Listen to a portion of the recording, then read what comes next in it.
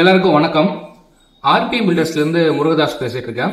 இந்த வீடியோல வந்து ரொம்ப முக்கியமான அதுவும் முக்கியமானதுன்னு முக்கியமானது சொல்றதை விட இதை நிறைய பேர் வந்து ஃபாலோ பண்ண மாட்டாங்க வீடு கட்டணும்னு நினைக்கிற எல்லாருமே இது பெரும்பாலான நம்பர் வந்து ஃபாலோ பண்ண மாட்டாங்க அந்த விஷயத்தை பத்தி தான் நம்ம பேச போறோம். என்ன அப்படின்னா ப்ரீ பிளானிங் அப்படின்னு சொல்றோம். வீடு கட்டுறதுக்கு முன்னாடி வந்து ப்ரீ பிளான்டா நம்ம வந்து சில விஷயங்களை வந்து ரெடி பண்ணி வச்சுக்கிறது ரொம்ப முக்கியம். அந்த வரிசையில பார்க்கும்போது மூணு விஷயம் வந்து இம்பார்ட்டண்டா இருக்கு. ஒன்று வந்து பார்த்தீங்கன்னா டூ டி ஃப்ளோர் பிளான் ஒன்று இன்னொன்று வீட்டோடைய எலிவேஷன் த்ரீ டி எலிவேஷன் சொல்கிறோம் இன்னொன்று வந்து வீட்டோடைய ஸ்ட்ரக்சுரல் டிசைன் இந்த மூணுமே வந்து பார்த்தீங்கன்னா வீடு கட்டணும்னு நினைக்கிற ஒரு ஒரு கஸ்டமரும் அதாவது ஒரு ஒரு ஒரு ஒரு ஒருத்தருமே வந்து இதை பிளான் பண்ணி ரெடி பண்ணி வச்சுக்கிறது ரொம்ப ரொம்ப முக்கியம். ஆனால் நிறைய பேர் வந்து இதை வந்து ஒரு ஜஸ்ட் லைக் தட் வந்து விட்டுடுறாங்க. இல்லைன்னா வந்து பண்றதை வந்து ஒரு ப்ராப்பரா ஒரு ப்ரொஃபஷனலா பண்ண மாட்டாங்க ஓகேங்களா? எப்படி பண்றாங்க அப்படின்னா ஒரு பேப்பர் எடுத்துக்கிறாங்க. அவங்களே ஒரு மேஸ்திரி யாருன்னா இருந்தாங்கன்னா அவங்களுக்கே வந்து என் வீடோட ஏரியா இதுங்க. இது உள்ள பிளான் வந்து வீடு வந்து பெட்ரூம் இங்க இருக்கணும். அது இங்க இருக்கணும் இது இங்க இருக்கணும்னு சொல்லிட்டு ஒரு பேப்பர்ல கூட பேப்பரை வச்சு வீடு கட்டுறாங்க. அது அந்த அளவுக்கு ப்ரொஃபஷ்னலான ஒரு விஷயம் கிடையாது ஆக்சுவலாக நான் அவங்கள வந்து அவங்க தப்பு பண்ணுறாங்க அப்படின்னு சொல்கிறத விட ஒரு இருபது லட்சம் செலவு பண்ணி நீங்கள் வீடு கட்ட போகிறீங்க ஓகேங்களா? இருபது லட்சமோ முப்பது லட்சமோ. பெரிய பட்ஜெட் தான். ஒரு லட்சமே பெரிய பட்ஜெட் தான் இல்லைங்களா? பார்க்கும்போது ஒரு பத்து லட்சம் இருபது லட்சம் செலவு பண்ணி நீங்கள் வீடு கட்ட போறீங்க அப்படின்னா அந்த வீடை கட்டுறதுக்கு முன்னாடி நம்ம என்னென்ன பண்ணணும்? ப்ராப்பராக என்னென்ன பண்ணணும்? நம்ம ப்ராப்பராக தான் வீடு கட்ட போகிறோம் இல்லைங்களா? ஏனோ தானு கட்ட மாட்டோம் இல்லைங்களா? ஒரு கிச்சன்னா எப்படி இருக்கணும்? ஒரு பெட்ரூம்னா எப்படி இருக்கும் அப்படின்னு ஒன்று ஒன்றுத்தையும் ப்ராப்பராக தான் கட்ட போகிறோம் அதை நம்ம ஏனோ தானு கட்ட மாட்டோம். அதே மாதிரி அந்த வீடை ப்ராப்பராக நம்ம கட்டணும்னு நினைக்கும் போது அந்த வீடு கட்டுறதுக்கு முன்னாடி நமக்கு ப்ராப்பராக என்னென்ன வேணுமோ அதை ரெடி பண்ணுறது ரொம்ப ரொம்ப ப்ரொஃபஷ்னலாக முக்கியமான ஒன்று ஓகேங்களா? வந்து இந்த ஒன்று ஒன்றுத்துக்குமே ஒரு ஒரு இம்பார்ட்டன்ஸ் இருக்குது அது என்ன அப்படின்னா இப்போ இந்த டூ டி ஃப்ளோர் பிளான் அதோட இம்பார்ட்டன்ஸ் என்ன அப்படின்னா உங்களுக்கு உங்கள் வீடு கட்ட போறோம்னு முடிவு பண்ணிட்டீங்க. கற்பனையாக மனசுக்குள்ளே நிறைய விஷயங்கள் இருக்கும். எனக்கு வந்து பெட்ரூம் வந்து இந்த சைஸில் இப்படி இருக்கணும். நான் பெட்ரூமில் வந்து கபோர்டு போடணும். இதுக்கேற்ற மாதிரி எனக்கு சைஸ் வரணும். ஹால் வந்து இந்த மாதிரிலாம் இருக்கணும். கிச்சன் வந்து எனக்கு வந்து எல் ஷேப்பில் இருக்கணும் இல்லை பாஸ் ஷேப்பில் பிளாட்ஃபார்ம் சொல்கிறேன் இந்த மாதிரி இருக்கணும். வா நான் வாஸ்துப்படி எங்கே இருக்கணும்? இந்த மாதிரி நிறைய படிக்கட்டு உள்ளே இருக்கணுமா? வெளியே இருக்கணுமா? எனக்கு வந்து நான் மேலே ரெண்டல் ஹவுஸுக்கு கட்ட போகிறேன் அப்போ எனக்கு வந்து எப்படி பண்ணணும்? இந்த மாதிரி இந்த கற்பனை எல்லாத்தையுமே நம்ம ப்ராப்பராக ஒரு பேப்பரில் கொண்டு வரணும். அப்பதான் நமக்கு ஒரு கிளாரிட்டி வரும். ஓகே இதுதான் வீடு இப்படி தான் வரப்போ அந்த கற்பனையை நம்ம பேப்பரில் பார்க்கும்போது தான் நம்மளுக்கு வந்து ஓகே இதை இப்படி மாற்றலாமா இந்த பெட்ரூம் நம்ம இங்க வைக்கலாமா? இப்படின்னு நம்மளுக்கு ஒரு அந்த ஐடியாலஜியில் சேஞ்சஸ் நட பண்ணோம் அப்படின்னா நம்மளுக்கு பேப்பராக அது விஷுவலாக பார்க்கும்போது தான் தெரியும். கற்பனையாக இருந்ததுன்னா அந்த கற்பனையை நிறைய கற்பனையை உருவாக்கிறோம் இல்லைங்களா? அது மாதிரி அந்த கற்பனையை முதல்ல பேப்பரில் கொண்டு வரணும். அந்த அதை பார்க்கும்போது நம்மளுக்கு ஒரு கிளாரிட்டி வரும். ஓகே இதெல்லாம் இப்படி இருக்குது ஓகே ஃபைன் ஓகே சூப்பர் இதெல்லாம் மாற்றணும் பெட்ரூமை நம்ம சிறுசு பண்ணணும் பெருசு பண்ணணும் அப்படின்னா நம்ம அதுலேயே நம்ம பார்த்து தெரிஞ்சுக்கலாம். அதனால் இந்த பிளான் வந்து ரொம்ப முக்கியம். ஓகேங்களா அது இல்லாமல் வீடு கட்டாதீங்க. அப்போ அந்த பிளான் போனோன்னா ரொம்ப செலவாகுமா சார் அப்படின்னு கேட்டிங்கன்னா நீங்கள் வீடு கட்டுற செலவை விட point zero zero zero one percentage தான் இதுக்கு செலவாகும் இந்த பிளான் சொல்ல டூ ஃப்ளோர் பிளான் சொல்கிறேன் அதனால் அந்த காசை மிச்சம் பண்ணி நீங்கள் என்ன பண்ண போகிறீங்க அது ஒன்றுமே இல்லை ஈஸியாக அடுத்து வந்து பார்த்தீங்க அப்படின்னா த்ரீ டி எலிவேஷன் அதாவது வீட்டுடைய முகப்பு தோற்றம். நம்ம வீடு கட்டிட்டோம். வெளியே இருந்து ரோட்டில் இருந்து நம்ம வீடை பார்க்கும்போது வீடு எப்படி இருக்கும்? முடிஞ்ச பிறகு வீடு கட்டி முடிஞ்ச பிறகு நம்ம வீடு எப்படி இருக்கும் அப்படின்னு ஒரு பேப்பரில் அதையும் ஒரு பேப்பரில் வந்து பார்க்கறதுக்கு தான் த்ரீ டி எலிவேஷன் அப்படின்னு சொல்கிறோம் இது என்ன சார் இதெல்லாம் தேவையா சார்? அப்படின்னு நீங்கள் கேட்கலாம். எதுக்கு சார் இதெல்லாம் நம்ம முடிய போது முடிஞ்ச உடனே பார்த்துக்கலாம் வீடு எப்படி இருக்கு அப்படின்ற மாதிரி நிறைய பேர் யோசிச்சிங்க அப்படின்னா இப்போ உங்களுக்கு ஒரு இலக்கு இருக்குன்னு வச்சுக்கோங்களேன். ஒரு- இலக்கு நோக்கி போகிறீங்க அப்படின்னா அந்த இலக்கு என்னன்னு தெரிஞ்சாதானே அந்த பயணத்தில் சுவாரஸ்யம் சுவாரஸ்யம்ன்றது ஒன்று இருக்கும். நான் இதுவாக போகிறேன் சார் நான் இதுவாக பண்ண போகிறேன் சார் அப்படின்னு ஒரு ஏதோ ஒன்றுத்த நம்ம ஃபிக்ஸ் பண்ணி வச்சா மட்டும்தானே நம்ம அதை நோக்கி போகும்போது ஒரு சுவாரஸ்யமான ஒரு விஷயம் இருக்குது நம்ம எங்கே போய் சேர போகிறோன்னே தெரியாமல் நம்ம எப்படி ட்ராவல் பண்ண முடியும்? குழப்பம் இருக்கு இல்லைங்களா? நம்ம ஏதோ ஒன்று பண்ணுறோம் நம்ம எங்கே தான் போக போகிறோம் அப்படின்னு நமக்கு தெரியல அப்படின்னா நம்ம இங்கே போ நம்ம இதாக போகிறோமா அதாக போகிறோமோ நம்ம என்ன ஆக போகிறோம் அப்படின்ற குழப்பம் இருக்கும் இல்லைங்களா? அது லைஃப்பில் மட்டும் கிடையாது இந்த வீடு கட்டத்துலேயும் இருக்கும். உங்கள் ஒரு இரு- இருபது லட்சம் பணத்தை கொண்டு வந்து உங்கள் லைஃப் டைம் இன்வெஸ்ட்மெண்ட்டை கொண்டு வந்து இதில் போடுறீங்க கொட்டுறீங்க.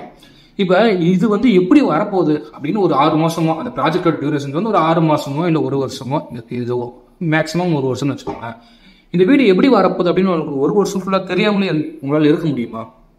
கம்ப்ளீட்டாக இருக்கும்போது வீடு இப்படி தான் இருக்க போகுது அப்படின்னு நம்மளுக்கு வந்து தெரியாமலே இருந்தால் அது எந்த அளவுக்கு குழப்பத்தை ஒரு ஒருத்தனுக்கு உண்டாகும். ஃபினிஷ் ஆக ஃபினிஷ்ட் ஆகி வரும்போது அது மேபி சில பேருக்கு எக்ஸைட்மெண்ட்டாகவும் இருக்கும். ஓகே சூப்பர் அப்படின்னு இருக்கும். இல்லைனா இது நல்லாவே இல்லைங்களே இது வேறு எதனா பண்ணிருக்கலாமோ அப்படின்னு வீடு கட்டி முடித்த பிறகு அந்த ஃபீலிங் வர்றதுக்கும் வாய்ப்பு இருக்குது அதனால தான் நான் சொல்கிறேன் வீடு கட்டணும் முடிவு பண்ணிட்டீங்கன்னா உங்கள் வீடு எப்படி வரப்போகுது? ஃபைனலாக எப்படி இருக்க போகுது வீடு அப்படின்னு முதல்லயே முடிவு பண்ணிவிடுங்க அப்போ தான் நீங்கள் ஒரு ஒரு நாளுமே அதை பா உங்கள் பேப்பரில் அந்த வீடை பார்த்துட்டு சைட்டில் பார்க்கும்போது உங்களுக்கு வந்து ஒரு எக்ஸைட்மெண்ட் கிரியேட் ஆகும். ஓகே சூப்பர் நீங்கள் எல்லார்கிட்டையும் காட்டலாம். இது ஒரு ஒரு எக்ஸைட்மெண்ட் தான் இது ஓகேங்களா உங்களுக்கு வந்து ஒரு நம்ம வீடு இப்படி வரப்போகுது நம்ம கனவு இல்லம் இப்படி தான் இருக்க போகுது அப்படின்னு நம்ம டெய்லி கூட பார்த்துக்கலாம் அதை எடுத்து. நம்மளுக்கு ஒரு எக்ஸைட்மெண்ட் கிரியேட் ஆகும். என்ன எப்படி தான் வரப்போகுதுன்னே தெரியல அப்படின்னா அது முடிஞ்ச பிறகு வீடு கட்டி முடிஞ்ச பிறகு அது ஏமாற்றமாகவும் இருக்கும் சந்தோஷமாகவும் இருக்கும். ஓகே இது நல்லா வந்துருச்சு அப்படின்னு இருக்கும். இல்லை இன்னும் அது ஒரு மாதிரி நல்லாவே இல்லை நம்ம வேறு எதனா பண்ணியிருக்கலாமே ஃபஸ்ட்டு எதனா அப்படின்னு அப்போ நம்மளுக்கு யோசிக்க தோணும். அதை அவாய்ட் பண்ணுறதுக்கு இந்த த்ரீ டி எலிவேஷன் வந்து ரொம்ப மஸ்ட் அப்போ இதுக்கு ரொம்ப செலவாகுமா சார்னு கேட்டால் அதில் சொன்ன பர்சன்டேஜ் அப்படியே தான் அதுக்கு என்ன ச பிளானுக்கு என்ன செலவாகுமோ அதே தான் ஆகும் ஓகேங்களா? இந்த ஸ்ட- அடுத்து வந்து நம்ம பார்க்க போகிறது இந்த ஸ்ட்ரக்சரல் டிசைன் ஓகேங்களா? இப்போ இது வரைக்கும் நீங்கள் வீடியோ பார்த்துருந்தீங்க அப்படின்னா கண்டிப்பாக உங்களுக்கு பிடிச்சிருக்கும். சேனல் மறக்காமல் சப்ஸ்கிரைப் பண்ணுங்கள் நாங்கள் கன்ஸ்ட்ரக்ஷன் வந்து பார்த்திங்கன்னா கூடுவாஞ்சேரி செங்கல்பட்டு வரையும் சென்னை கூடுவாஞ்சேரி செங்கல்பட்டு வரைக்கும் பார்த்தோம். உங்களுக்கு தேவைப்பட்டதுன்னா கால் பண்ணுங்கள் இந்த நான் சொல்லக்கூடிய இந்த மூணு விஷயமும் உங்களுக்கு வந்து அஃபோர்டபுள் ரேட்டில் நான் பண்ணி தரலாம்னு இருக்கேன் நிறைய பேர் வந்து கொஞ்சம் அதிகமான ரேட்டில் தான் இது பண்ணுவாங்க. பட் நான் ரேட்டை பற்றி கடைசியாக பேசுகிறேன் அதுக்கு முன்னாடி இந்த ஸ்ட்ரக்சரல் டிசைனை பற்றி பேசலாம் ஸ்ட்ரக்சரல் டிசைன் அப்படின்றது நம்ம வீடு கட்டும்போது நம்மளுடைய framed structure column beam slab இது எல்லாத்துக்குமே எத்தனை கம்பி போடணும்? எத்தனை எவ்வளோ கான்கிரீட் போடணும்? எவ்வளோ மீன்ஸ் என்ன கிரேடில் கான்கிரீட் போடணும்?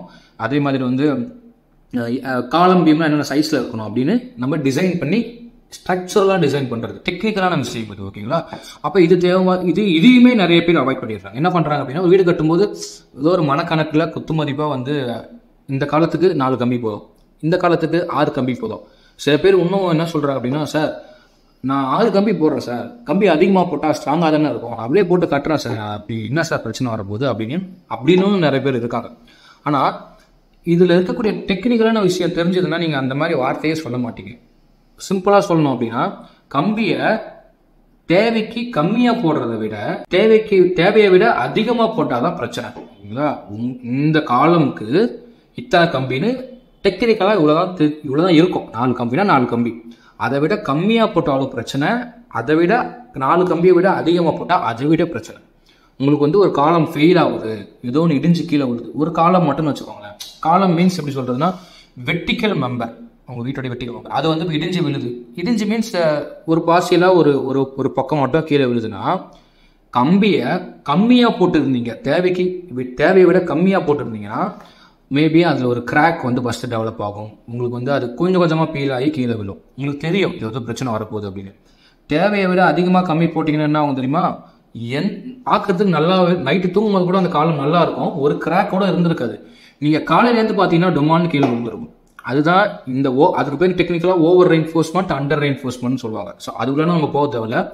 உங்களுக்கு புரியறதுக்காக சொல்கிறேன் அதனால இந்த கம்பியையும் சைஸையும் நம்ம வந்து முடிவு பண்ணவே முடியாது. நம்ம உட்காந்து முடிவு பண்ணலாம். எப்படி அப்படின்னா பேப்பரில் உட்காந்து ஒரு ஒரு பீமையும் டிசைன் பண்ணி எழுதணும். இந்த பீமோட சைஸ் வந்து நான் ஃபஸ்ட்டு வந்து ஒம்பது இன்ச்சு ஒரு அடி ஒரு அடி அப்படின்னு வச்சு நான் டெரிவேஷன் பண்ணணும் நான் படித்ததை சொல்கிறேன் டெரிவேஷன் பண்ணி அதில் ஒரு வேல்யூ வரும். அது வந்து இதை விட இந்த அல்டிமேட் ஸ்ட்ரென்த்தை விட மேபி டெக்னிக்கலாக இருக்கும். கொஞ்சம் அல்டிமேட் ஸ்ட்ரென்த்தை விட ஈக்குவலாக லெசர் தானே அப்படின்னு பார்க்கும்போது அது கம்மியாக வந்ததுன்னா திருப்பி நான் இன்னொரு சைஸை வச்சு திருப்பி டெரைவ் பண்ணணும் இது ஒரு பீமுக்கு ஓகேங்களா இந்த மாதிரி ப்ராக்டிக்கலாக தியரிட்டிக்கலாகவும் பண்ணலாம். அதெல்லாம் இப்போ பாசிபிளே கிடையாது. ஒரு வீட்டுக்கு அந்த மாதிரி நம்ம பண்ணோம்னா ஒரு வருஷம் ஆகும். அதனால தான் அதை ஓவர் கம் பண்ணுறது தான் இப்போ நிறைய சாஃப்ட்வேர்ஸ்லாம் வந்திருக்கு. அதை வச்சு ஸ்ட்ரக்சரல் இன்ஜினியர் என்ன பண்ணுவாங்கன்னா அவங்க வீட்டுக்கு இதுதான்ப்பா டிசைனு இவ்வளோ தான் கம்மி பண்ணணும் இவ்வளோ தான் கான்கிரீட் பண்ணணும் இவ்வளோ தான் சைஸ் அப்படின்னு ப்ராப்பராக கொடுத்துருவாங்க. அதை வாங்கிக்கிட்டு பண்ணும்போது உங்களுக்கு ஒரு கிளாரிட்டி வரும். வீடு வந்து டெக்னிக்கலாக வருதுன்ற நம்பிக்கையும் உங்களுக்கு வரும். ஃப்யூச்சரில் நீங்கள் வந்து இப்போ கிரவுண்ட் ஃப்ளோர் கட்டுறீங்க ஃபியூச்சரில் ஃபஸ்ட் ஃப்ளோர் கட்ட போகிறீங்க அப்படின்னாலுமே இந்த பேப்பர் வந்து உங்களுக்கு அப்போ யூஸ்ஃபுல்லாக இருக்கும். இந்த அவங்க வந்து டிசைன் பண்ணிக்கிறத வச்சு ஓகே நம்ம ஃப்யூச்சரில் வந்து எழுப் இதை எழுப்ப முடியுமா ஃபர்ஸ்ட் ஃப்ளோருக்கு அந்த அளவுக்கு பேரி கெப்பாசிட்டி இருக்கா? எந்த அளவுக்கு இருக்குன்னு சொல்லிட்டு அந்த நீங்கள் இப்போ போட்டு டிசைனில் இருக்கக்கூடிய டேட்டாவை வச்சு அவங்க நீங்கள் ஃப்யூச்சரில் கட்டும்போது அவங்க ஸ்ட்ரக்சரல் இன்ஜினியர் வந்து டெரிவே டிசைன் பண்ணி பார்ப்பாங்க. இது தாங்குமா தாங்காதா அப்படின்னு. அப்பயும் உங்களுக்கு யூஸ்ஃபுல்லாக இருக்கும். அதனால தான் சொல்கிறேன் இப்போ இந்த மூணுமே வந்து ரொம்ப ரொம்ப மஸ்ட்டு அதோடைய நிறைய குறையை தான் நான் இவ்வளோ நேரம் பேசிட்டு இருந்தேன். உங்களுக்கு புரியணும் வந்திருக்காங்க ஷார்ட் அண்ட் ஸ்வீட்டில் சொல்லிட்டு போகலாம் அதெல்லாம் ரொம்ப முக்கியங்க. வாங்கிக்கோங்க அப்படின்னு. ஆனால் இதை நீங்கள் காசு கொடுத்து வாங்க போகிறீங்க அப்படின்னா அதோடைய என்ன எதுக்கு தேவை என்னத்துக்கு தேவை அப்படின்னு தெரிஞ்சுக்கிட்டு வாங்குறது ரொம்ப நல்லதுன்றதால தான் இவ்வளோ நேரம் கிட்டத்தட்ட ரொம்ப நேரம் ஆயிடுச்சு வீடியோ. இருந்தாலும் உங்களுக்கு புரியறதுக்காக இவ்வளோ நேரம் பேசியிருந்தேன்.